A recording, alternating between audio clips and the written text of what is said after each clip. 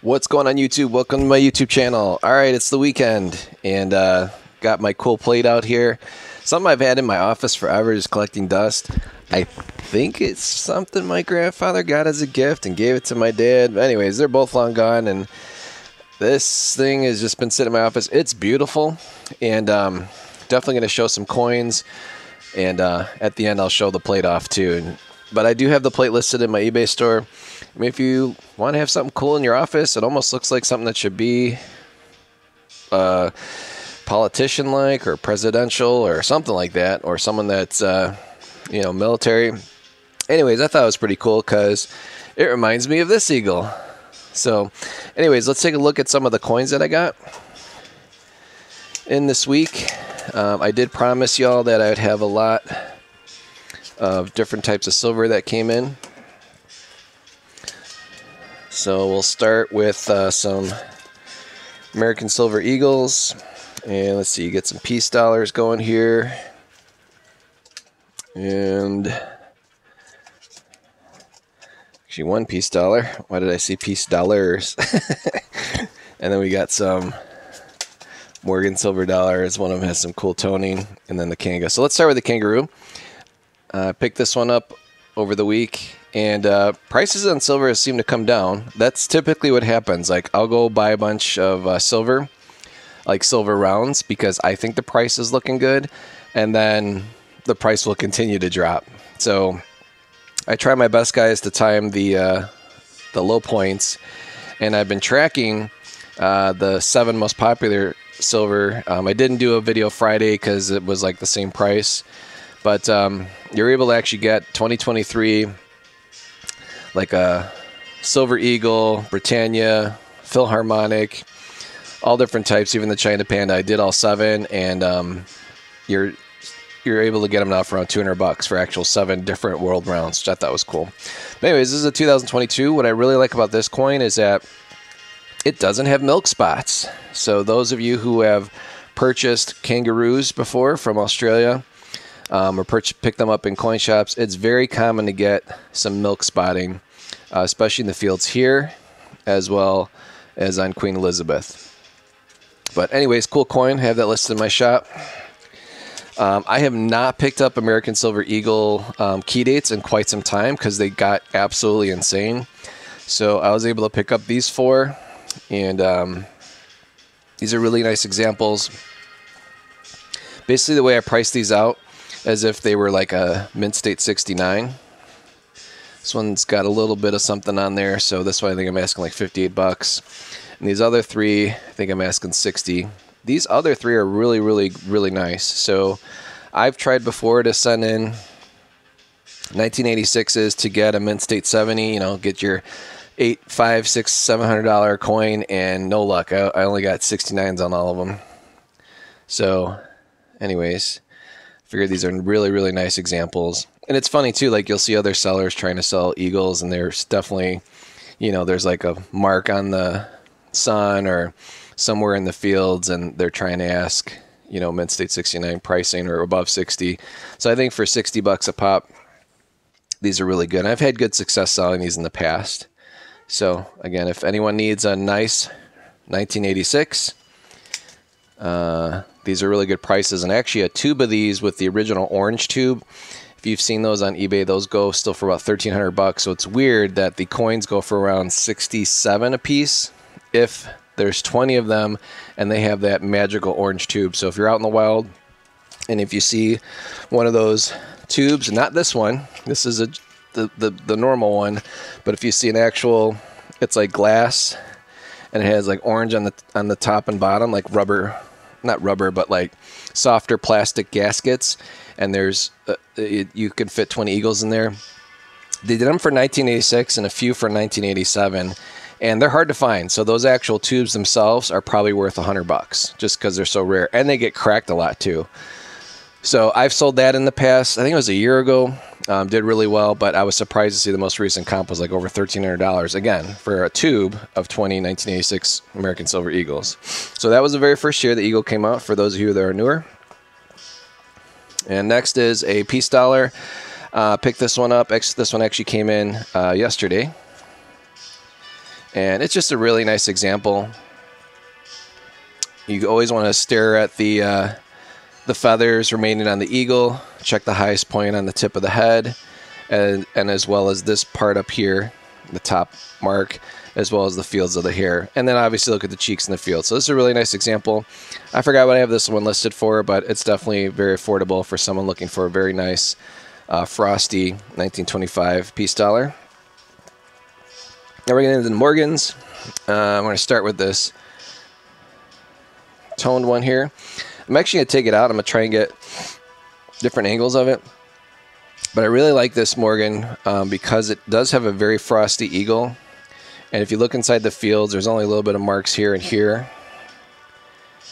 And then there's a little bit of chatter on the cheek, but that could be just from how the planchet was struck. And then let me see if I can get, there you go. Again, it's tough to do. I have super bright white lights in my light booth here.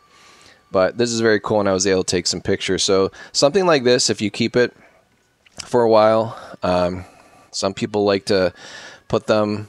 I think there's like secret ways you could do it. Like you could put it like with with copper um, cents, or put it in like a, a holder, that, like a blue paper holder, like the older ones. It'll start to tone even more. But this is definitely um, a future rainbow toner. It's just going to take a little bit more years or different storage. So, anyways, all in all, though, it's a still very beautiful coin. I forgot I have this one listed at. I'm pretty sure it's under 100 bucks, but love the. Uh, I had to get some more 1985, so let me show the other three here. Uh, this next one here, another beauty, uh, not toned, just a really nice bright white, uh, super bright white reverse, real nice feathers. All the fields are really clear, so I think someone would be real happy to pick this up.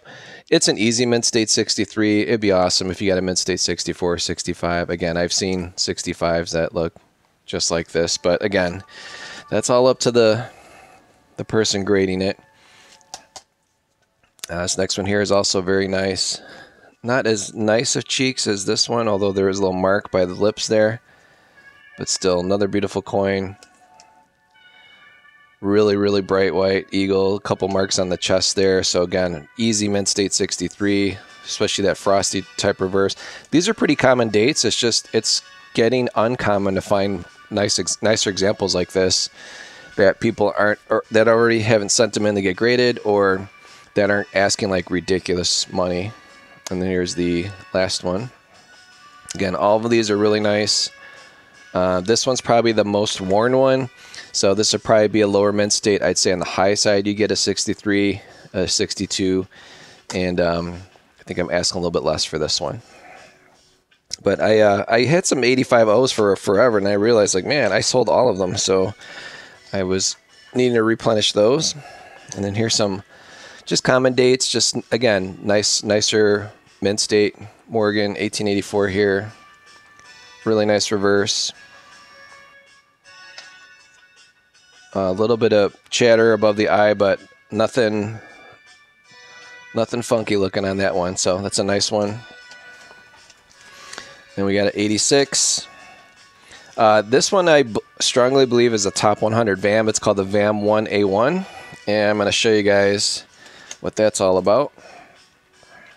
So sometimes I'll pick up Morgans and they'll have like a little spike coming out of the neck here. So let me see if I can point at this. Got a Q-tip here. So right here, there's like a spike going on. And I'll zoom in here so you can see it. And, and then obviously there's a line going through the 8, or the 1 and the 8, and continuing on to the stars, a die break, and then there's the strike through. So this is actually pretty hard to find in this type of condition. And you'd have a really, really good successful chance, well, really good chance of getting a VAM 1A designation, which is a top 100 VAM. So if people are into collecting VAMs, it's very important to get a really nice high quality coin so that you can easily recognize the VAM. And this one you obviously can recognize without me zooming in, right? It's I saw it through the naked eye. And then there is also I thought of one of the feathers here. Yeah, it's harder to make out, but there's like good die break that goes from the F down through the wing there. So again, something cool to look for when you're out there. And for whatever reason too, like these these types of VAMs, the breast feathers are weak, but you can see it's weak not from actually wear. It's just it wasn't struck very well. So that's what happens when these dies got older. Um, people are looking for it, but I, I just like it because it's got a spike coming out of the neck, and then there's gonna be another one too here that has a spike coming out of the neck. Um, so it's going to be the last coin I show. Here's a nice 19, or sorry, 19, 1889. It's just a regular nice BU Morgan. Nothing fancy. Nice lower mint state. I got a good price on that in my eBay store. And then lastly is this 1900 beautiful looking coin. Uh, these 1900s are generally not struck very hard or very well. So there's just a little mark here, a little mark here, but other than that, man, it that is one excellent looking coin. It does have a spike coming out of its neck as well. And the reverse is absolutely beautiful. Very, very little chatter in there. Ooh, we have to replace that. I don't know, sometimes I get these two and a half by two and a half uh, holders, and sometimes they just start splitting on the ends. But here's uh, the naked coin out of the holder. And then show you that spike neck a little closer here. And it's not a scratch it's actually a strike through so i don't know what kind of vam this is. I know it's on the vam list but the ones the ones they had examples of that line on the neck was even longer. Not that one but the one in the field like in between her like right in the corner there that one that's sticking out in the fields. So anyways other than that, though, I thought it was just a really nice looking coin. So, again, I forgot what I have that priced out at, but all these coins will be listed uh, in the description. I really appreciate you guys watching.